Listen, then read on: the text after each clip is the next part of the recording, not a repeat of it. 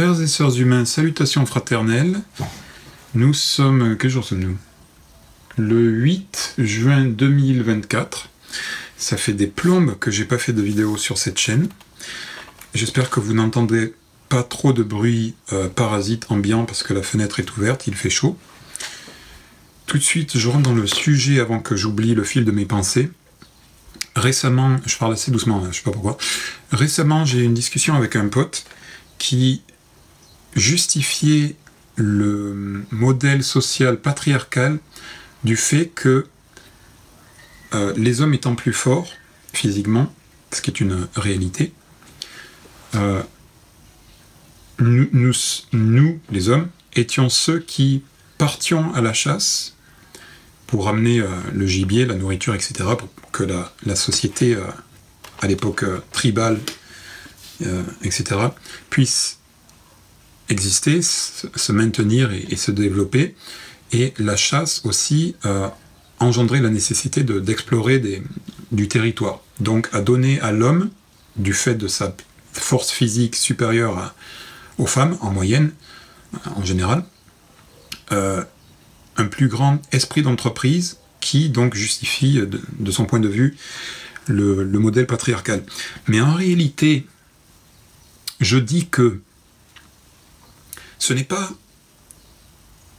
la force physique supérieure de l'homme par rapport à la femme, en moyenne, en général, machin truc, qui justifie, enfin justifie, oui si on veut, le, la forme patriarcale comme la plus répandue euh, chez l'homme, mais en réalité c'est le régime alimentaire de l'humain. Pourquoi? Parce que c'est parce que notre régime alimentaire a été basé principalement de façon dominante, me semble-t-il, hein, corrigez-moi si je dis que des conneries, c'est tout à fait possible, euh, est basé donc sur la consommation de, viande, de chair, et que l'homme étant plus fort, il est plus à même de, chasser, d'attraper les animaux, de les tuer, tout bordel, euh, que voilà, la société patriarcale donc euh, s'est développée. Là, je suis en train d'imaginer, c'est un de mes hobbies, j'aime bien, j'aime bien faire ça. Je suis en train d'imaginer un, autre monde, une autre civilisation, une autre culture, un autre modèle de société, etc. Et j'imagine que cette espèce ne mange pas de viande, pas parce que je suis végan ou je sais pas quoi, mais juste, voilà, par hypothèse. Euh, comment, comment on dit déjà en termes de science? Un a priori, non, c'est quoi? Une hypothèse de départ. C'est quoi le terme euh, Un postulat, je crois qu'on dit. Comme postulat de départ, euh, parce que toutes les possibilités existent, ou, potentiellement existent en tout cas. Voilà, ma euh, civilisation a pour origine un régime alimentaire qui est basé sur le fruit, sur le, pas le fruit, enfin le fruit, les fruits quoi. La, la, catégorie fruit et pas sur la catégorie animale. Et donc, je suis en train d'essayer de développer donc leur euh, voilà tout leur, leur, développement et leur psychologie et qu'est-ce que ça engendre etc et je me rends compte donc que si le régime alimentaire est basé sur le fruit et pas sur la viande et donc pas sur la chasse mais sur la cueillette alors le fait que l'homme ou le mâle parce que c'est une c'est une, civilisation non humaine que j'imagine. Donc le mal de cette civilisation, qui est plus fort, là aussi, dans ce cas-là, ça pourrait, ça pourrait ne pas être le cas, mais je reprends ce, schéma de, force physique masculine par rapport à la force euh, physique euh, féminine. Donc voilà, les mâles de cette euh, civilisation sont aussi physiquement plus forts que les femelles, mais comme le régime est basé sur les fruits, les fruits, les noix, etc., euh, etc. Euh, c'est mon, mon postulat. Eh bien, donc du coup, ça engendre le fait que les hommes ne sont pas forcément les, euh, les le sexe dominant qui part à, à, la, cueillette, à la cueillette, enfin à, la récolte de, de, ce qui est de ce dont il est besoin pour, se, pour sustenter la, société, ok? Mais les femmes peuvent tout aussi bien le faire, parce qu'il n'y a pas besoin de la, force physique. Alors, il y a quand même ensuite une, quand même une distribution des rôles différentes euh, sexuées, au sens où les hommes, de leur force physique, peuvent faire plus facilement certaines tâches par rapport aux femmes. Mais voilà, en tout cas, euh, simplement le, fait d'imaginer cette autre civilisation sur la base d'un régime différent engendre euh, aussi la possibilité d'une société non patriarcale et me fait me rendre compte en tout cas que ce qui fait euh, que le modèle patriarcal est dominant chez l'homme à travers les âges et les cultures, à travers le monde, c'est pas la force physique de l'homme, mais c'est le régime alimentaire de l'homme. si le régime alimentaire de l'homme n'était pas basé sur la viande, mais sur les fruits ou les légumes ou, autre chose, eh bien la force physique aurait une moindre, un moindre jeu, une moindre importance à, la procuration de, la, de la nourriture, puisqu'elle est d'une autre nature, et donc aurait potentiellement engendré d'autres formes de société que patriarcales et peut-être euh, matriarcales. Ça se dit matriarcal? Je sais plus comment on dit. Ou alors mix ou que sais-je quoi. Euh, voilà. Donc c'est une réalisation que j'ai eue relativement récemment et je trouvais ça intéressant de, de partager avec vous.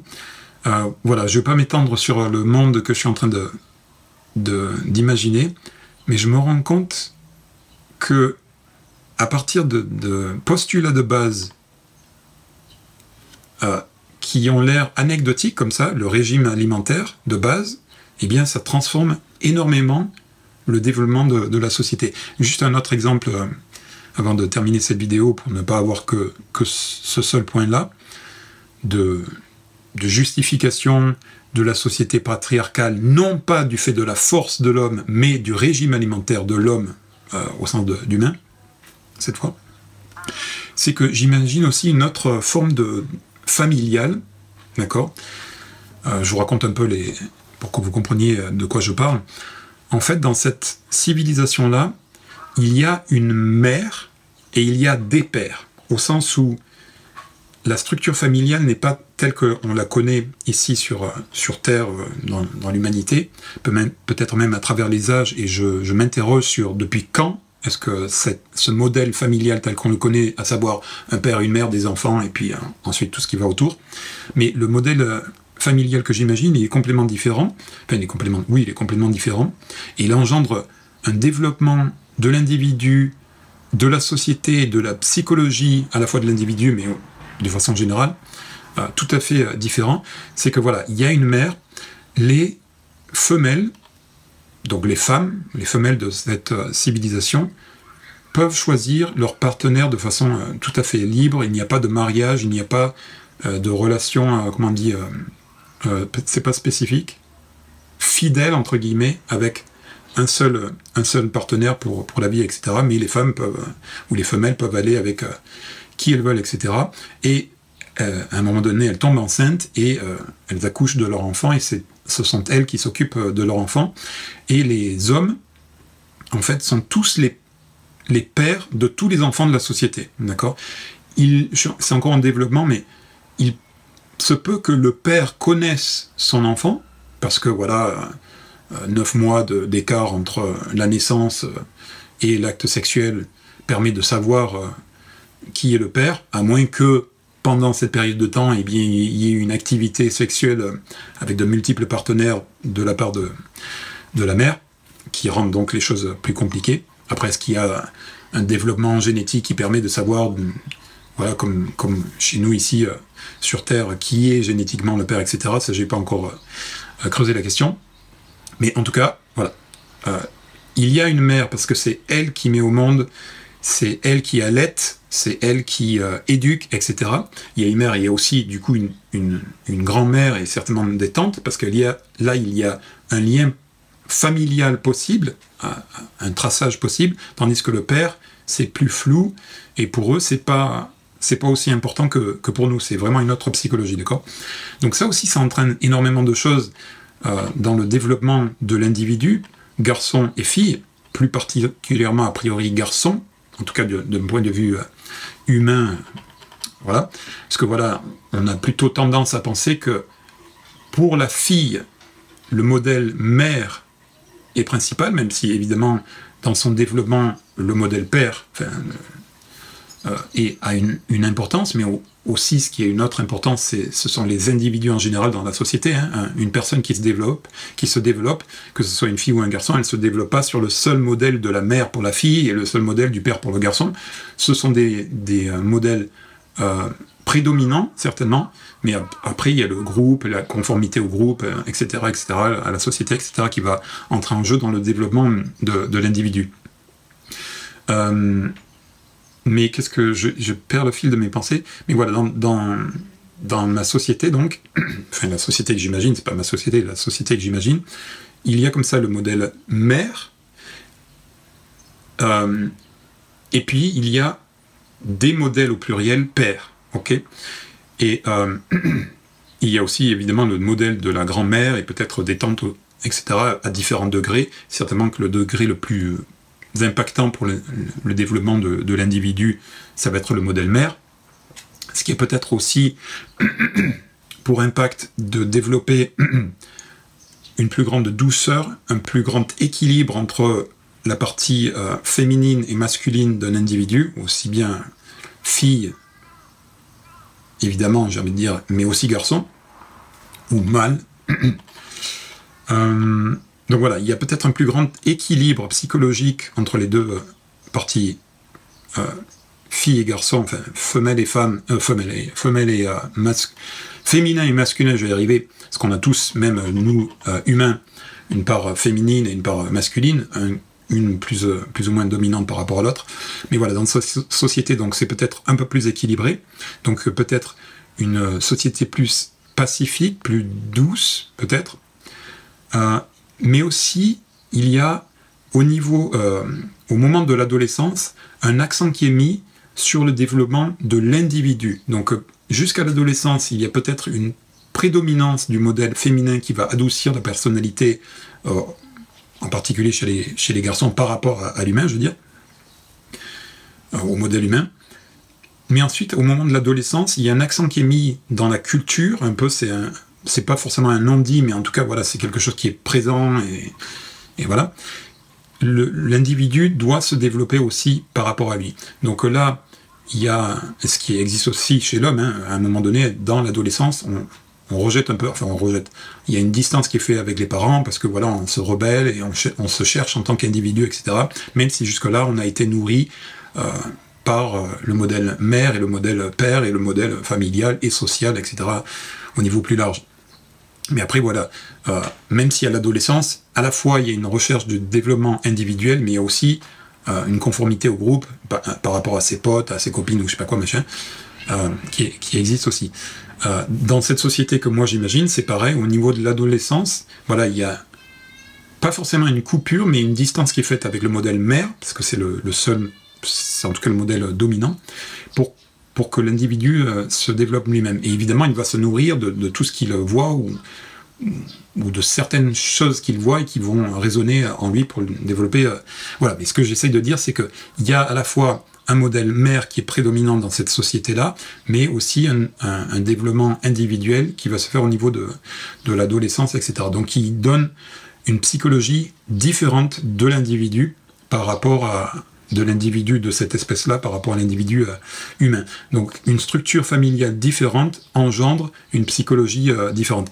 Euh, tout dernier point, ce que je, ce que je suis en train d'imaginer est pas complètement étranger à l'humain parce que, on pourrait dire malheureusement, mais en tout cas ce sont des choses qui existent, il y a des enfants qui se, il y a des enfants qui se développent sans la connaissance de leur père, orphelins de père, voire sans la connaissance de leurs parents, orphelins de père et de mère, et qui ne sont pas tous des cas sociaux, d'accord?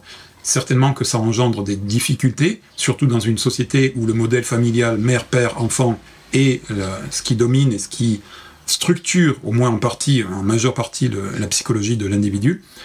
Euh, mais tous, les enfants orphelins, soit seulement de père, soit de père et de mère, ne sont pas des, cas sociaux, et il, y a euh, des, orphelins qui se développent en, parfait adulte, enfin parfait adulte, euh, voilà, équilibré, ou, aussi équilibré qu'une autre personne, même s'il euh, y a eu des difficultés enfin, spécifiques à ce, à ce développement-là.